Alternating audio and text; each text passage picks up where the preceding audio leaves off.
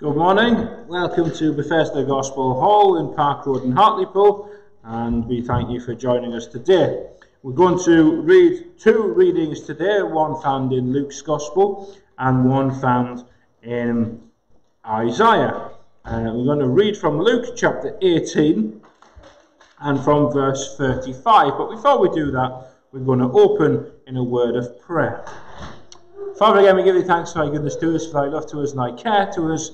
We thank thee again for the Lord Jesus Christ. And we thank thee that we can come before thee and we can open the Bible and we can speak concerning the person of the Lord Jesus. And we do pray, Father, that if there are those who are listening who do not know the Lord Jesus for themselves, do not have that personal relationship with him, that today will be that day when they would open their eyes and would accept him and receive him to be their Saviour and their Lord.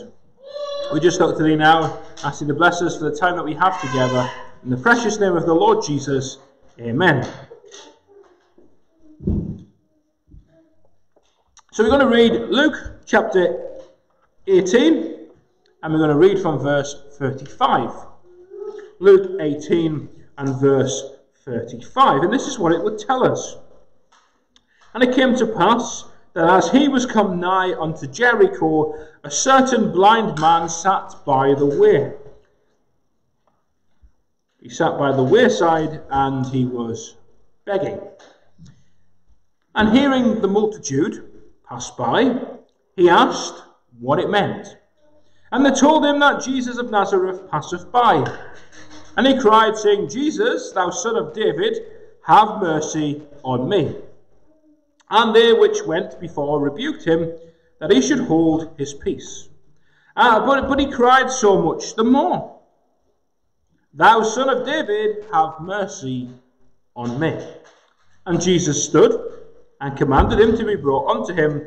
And when he was come near, he asked him, saying, What wilt thou that I shall do unto thee? And he said, Lord, that I may receive my sight. And Jesus said unto him, Receive thy sight, thy faith hath saved thee. And immediately he received his sight and followed him, glorifying God, and all the people, when they saw it, gave praise unto God.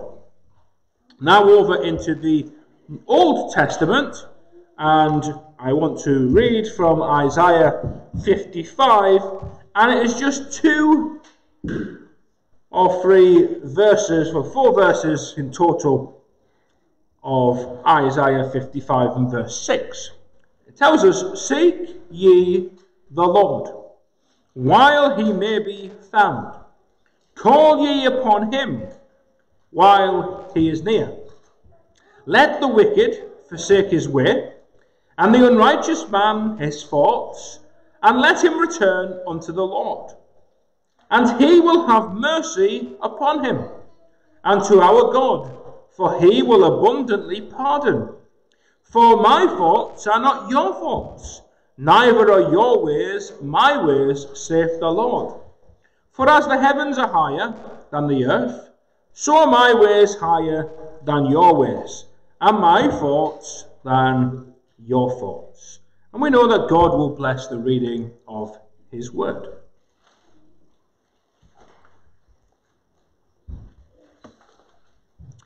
Between God and man, there is a great immensity that separates. It separates that which is finite, which ends, which from that which is infinite, which goes on forever and ever. There is something which separates the creature from the creator.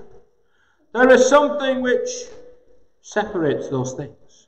And God has bridged that immeasurable gap.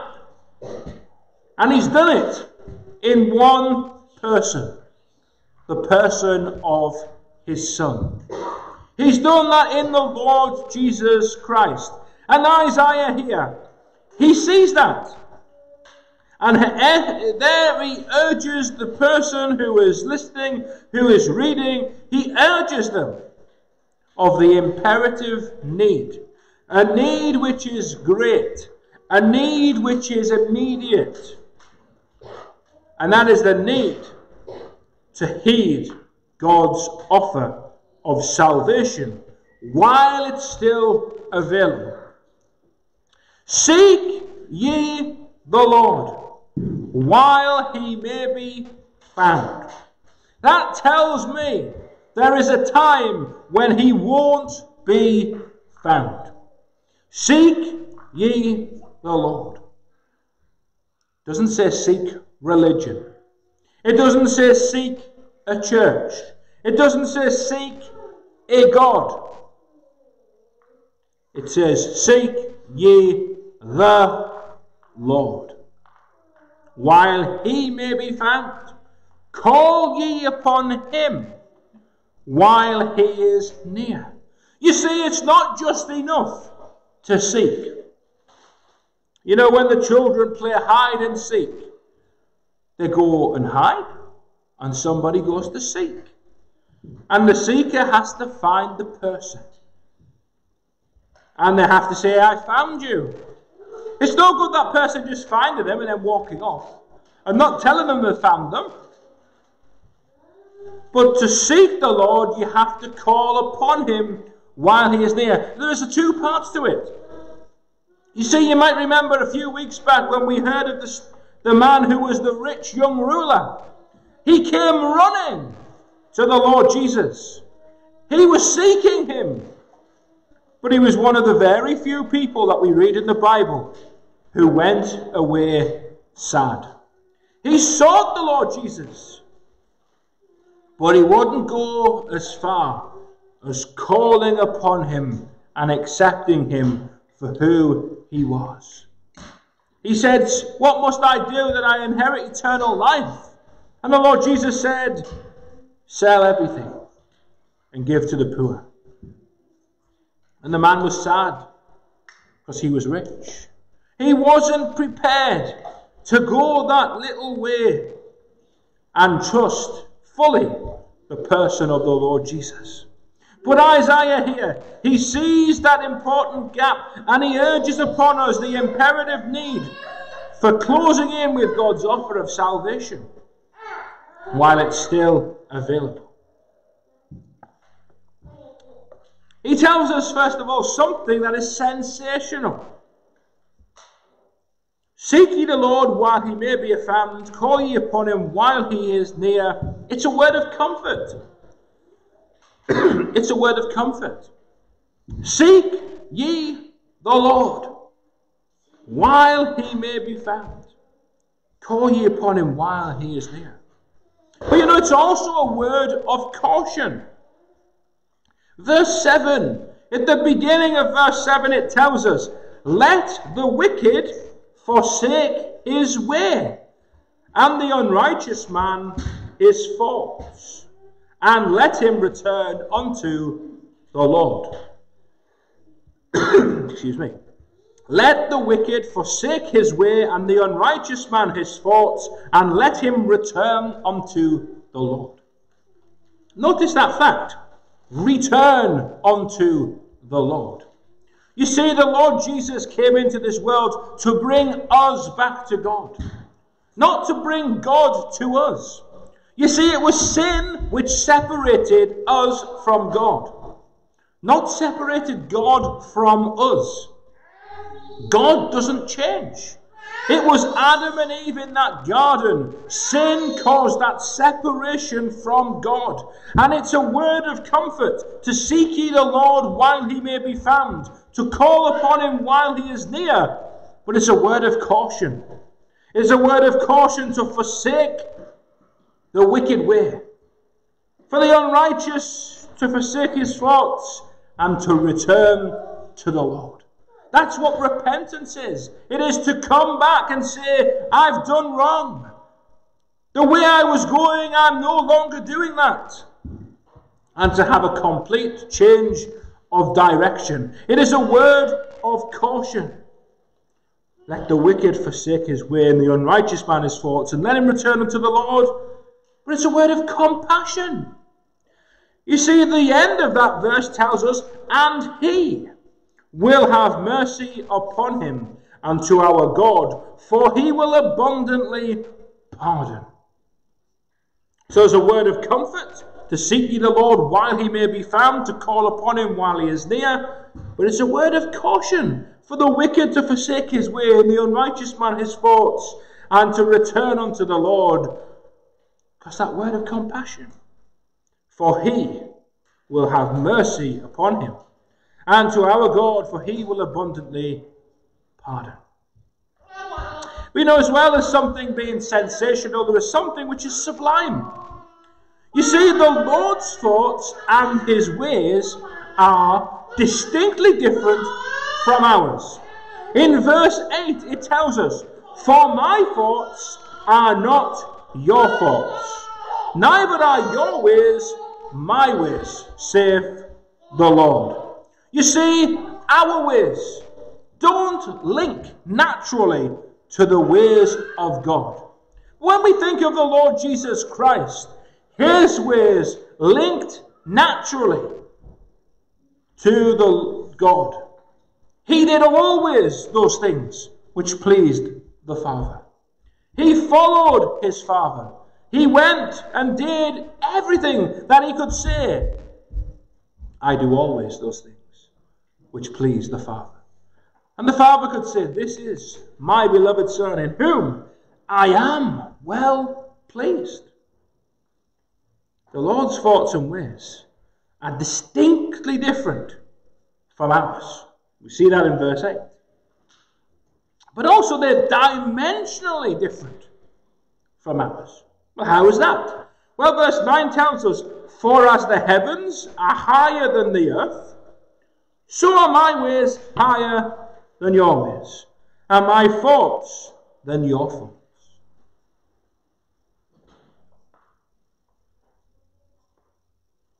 Are we going to seek the Lord while he may be found? To call upon him while he is near? Are we going to forsake our way and to go with his way? To stop doing the things that we want to do and to say, Lead me. The Lord Jesus said to the disciples, Forsake your parents, forsake your job, follow me. And what did they do? They left all and followed him. Let the wicked forsake his way, the unrighteous his thoughts, and let him return unto the Lord, and he will have mercy upon him. And to our God, for he will abundantly pardon, for my ways are not your ways. My thoughts are not your thoughts. The Bible tells us there is a way which seemeth right unto a man, but the end thereof are the ways of death. It seems right, but it leads to death. The Bible tells us the way of a fool is right in his own eyes. But we want to follow the way, the way of truth, the way of life, and that's found in one person alone. The Lord Jesus Christ, who said, I am the way, the truth, and the life. No man follow, no man cometh unto the Father but by me. But then we see the illustration of this. In Luke 18, we see a blind man. And we see in verse 35 that it came to pass as he was come nigh unto Jericho, which was the Lord Jesus, there was a certain blind man sat by the wayside begging. Here was a man. He was blind. He was begging. He was sat down at the wayside. This was a common sight in the eastern lands. And there was a multitude of people, there was a crowd. And hearing the multitude pass by, he asked what it meant. So he couldn't see, but he could hear. And he heard a crowd. And once he heard the crowd and the noise of the crowd, he learned that Jesus of Nazareth passed by. Because verse 37 tells us, and they told him, that Jesus of Nazareth passeth by. So now he's got a choice. He knows that there is somebody coming. He knows there is a crowd of people. Excuse me. And he knows that Jesus of Nazareth is passing by. He could have just said, okay, well, that's fine, that's nice. You know, we often see, don't we, in, a, in our local papers or in the, the town or whatever, oh, this person is coming. This person is going to open this building, or there is this person performing here, or and we have choices. You know, if the Queen was coming to open something, there'd be people who would line the streets. It's soon going to be her jubilee, and there'll be parties and people planning all sorts of events. But Jesus is passing by. what does the man do? He heard the noise. He heard who it was. It was the opportunity of a lifetime. And he cried, saying, Jesus, thou son of David, have mercy on me. Why was it an opportunity of a lifetime? Well, he may have heard of Jesus. Because what we're told is that they told him it was Jesus of Nazareth that passeth by.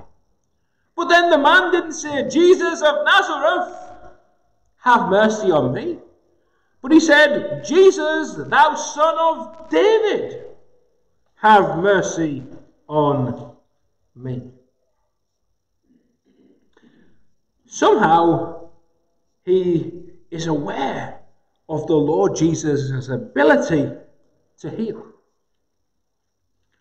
Perhaps by this stage of the Lord Jesus' ministry, his reputation has been widespread. Somebody may have told him of how he raised the dead, how he healed the lame, how he gave sight to the blind. But the man, he cried for help. He cried in his need. And his only response was to cry to Jesus, Thou Son of David, have mercy on me. But in verse 39, we find that they which went before rebuked him. They told him to be quiet. What did he do? He cried so much the more, Thou Son of David, have mercy on me. You know, he could have said, I'm not doing this. He could have said, it's not worth it.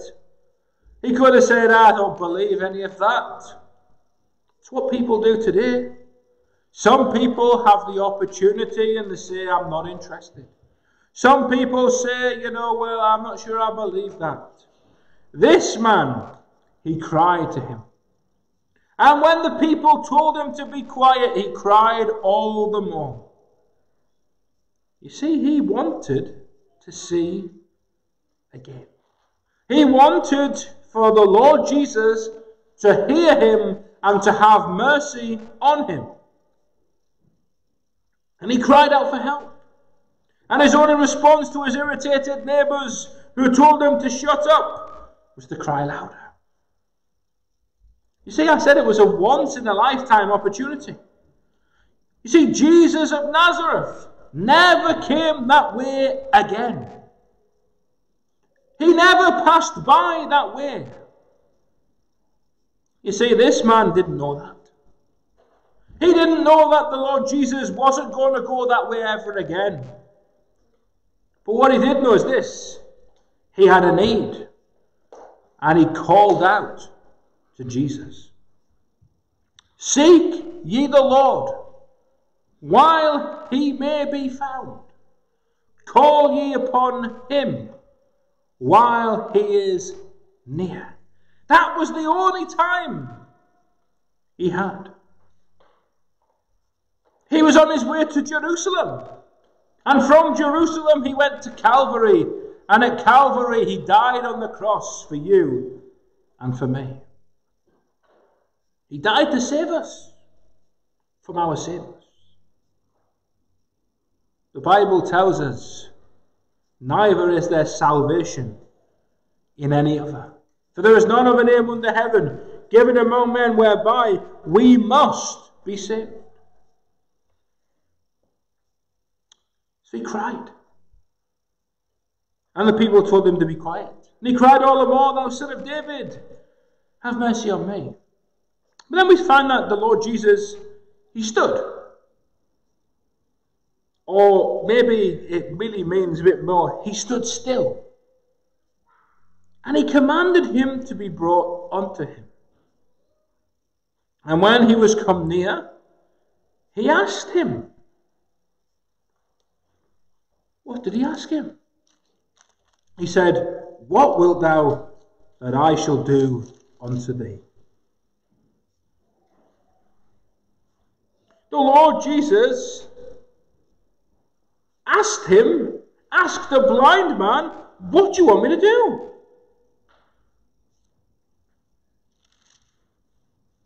Now you might say, Well, that was pretty obvious. He couldn't see. You know, the Lord Jesus he died for you and for me that he might take our sin away. But he doesn't just take our sins away, we have to come to him.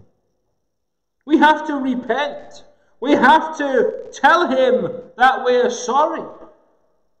Acknowledge our guilt and our need, just as it told us in Isaiah 55. We have to acknowledge our need. What did it tell us again? Let the wicked forsake his way, and the unrighteous man his faults, and let him return unto the Lord, and he will have mercy upon him. the Lord Jesus said, What wilt thou have me to do? And the man said, Lord, that I may receive my sight. And Jesus said unto him, Receive thy sight, thy faith have saved thee. Now, why was it that he had any faith? Why was it that his faith saved him? Well, it was because he realized that the Lord Jesus could meet his need. He realized that the Lord Jesus was the only one who was able to help him. And he cried out to him. And the Lord Jesus, immediately, the man received his sight. And what did he do? And followed him, glorifying God. And all the people, when they saw it, they gave praise unto God. What does it say in Isaiah? Seek ye the Lord while he may be found Call ye upon him while he is near. Let the wicked forsake his way, and the unrighteous man his faults, and let him return unto the Lord. And he will have mercy upon him, and to our God, for he will abundantly pardon. For my thoughts are not your thoughts, neither are your ways my ways, said the Lord. For as the heavens are higher than the earth, so are my ways higher than yours, and my thoughts than your thoughts. This man after receiving his sight, he followed the Lord Jesus. You see, it wasn't just that he might receive his sight, but he followed. He left what he was doing and he followed the Lord Jesus and he glorified God. That was a complete change. And that is what we need to do. We need to come to Him and we need to acknowledge our need and we need to repent from our sin. Why? Because of what the Lord Jesus Christ has done. Because of what the Lord Jesus Christ does. And because of what the Lord Jesus Christ will do. And you might say, what do you mean? What he will do? He died. Ah, yes. That's what the Lord Jesus Christ did. Christ died for our sins according to the scriptures, and that he was buried, and that he rose again the third day according to the scriptures.